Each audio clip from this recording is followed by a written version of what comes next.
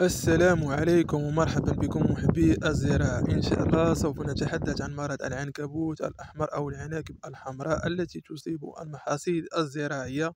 كذلك سوف نقوم بالتعريف بهذا المرض وخطورته وكذلك كيفية المكافحة هذا المرض.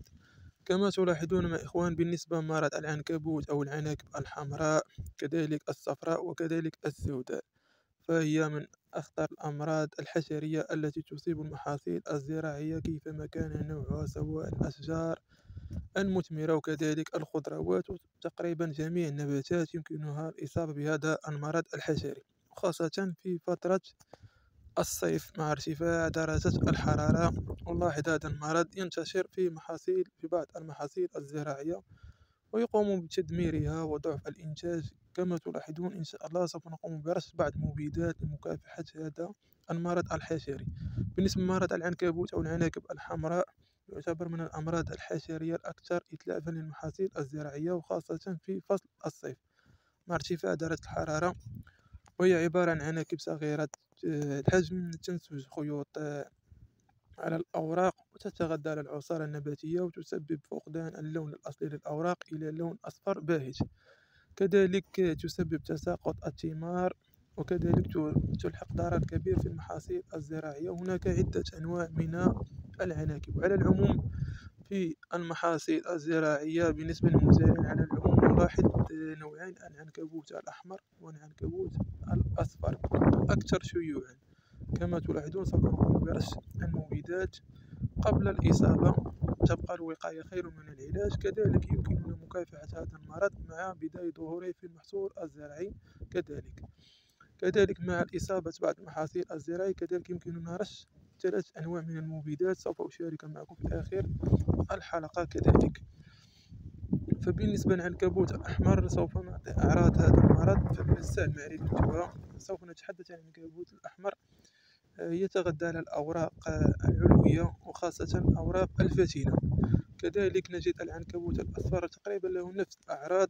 نجد كذلك ينتج شبكة عنكبوتية على الأوراق كذلك يؤدي إلى ضعف الأوراق وتساقط الثمار وكذلك انخفاض التركيب الضوئي. كذلك موت الأغصان وانخفاض حجم الثمار وصلابتها في بعض المحاصيل الزراعية. كذلك البرنجان وكذلك البطيخ كذلك.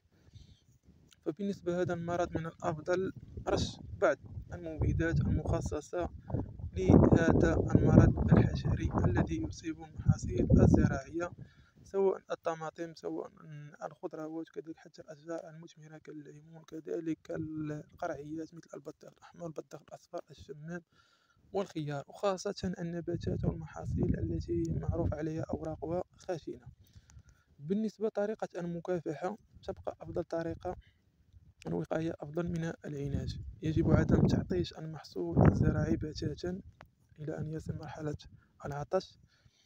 كذلك يجب رش مبيدات خاصة في مرحلة ارتفاع درجة الحرارة أو الطقس المرتفع درجة الحرارة. كذلك إزالة الأعشاب الضارة وخاصة الأعشاب الضارة لأنها تختبئ في تلك الأعشاب.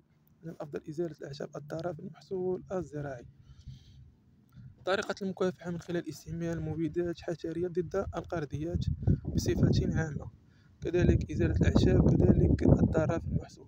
يوجد ثلاث أنواع من المبيدات على حسب الأعراض بالنسبة للمحصول الزراعي. يوجد نوع أول مبيد يقضي على جميع مراحل العناكب الكبيرة وكذلك البراعم الصغيرة أو اليرقات الصغيرة وكذلك يقضي على البيض. بالنسبة لهذا المبيد نجده كذلك يباع يمكننا اقتناؤه. بالنسبة لهذا المبيد فهو مخصص في مرحلة آه، القضاء على البيض واليرقات الصغيرة وليست الكبيرة لأن هذا المرض في بداية ظهوره في المحصول الزراعي على حسب حجم الضرر في المحصول الزراعي. كذلك نجد المبيد الثاني كذلك يمكننا اقتناؤه كذلك مبيد يقضي على البيض واليرقات كذلك هذا المبيد كذلك متوفر يمكنك كذلك رشه على المحاصيل الزراعية كما تلاحظون بالنسبة للطماطم. كذلك المبيد الثالث كذلك يقضي فقط على اليرقات الكبيرة أو العناكب العناكب عفوا البالغة الحجم.